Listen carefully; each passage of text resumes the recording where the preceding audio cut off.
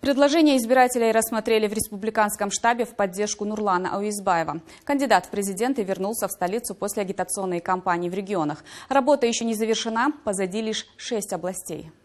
В столице члены штаба в поддержку Нурлана Уезбаева занимаются не только агитацией, но и подведением итогов работы по всем регионам. Кандидат в президенты обсудил с помощниками важные направления, озвученные избирателями во время предвыборных встреч. Не остались без внимания и письма с предложениями. В штабе сообщили, каждое тщательно изучается и не остается без ответа. Партия представлена во всех соцсетях, это в Фейсбуке, Инстаграм, Ютубе, в ТикТоке, это вот основные, которые люди э, пользуются каждодневно. Э, там мы высылаем нашу информацию, все встречи, э, видео, э, все публикуется, все пресс-релизы, анонсы. Напомню, кандидат в президенты Нурлан Ауезбаев встретился с избирателями шести областей. В планах охватить все регионы страны.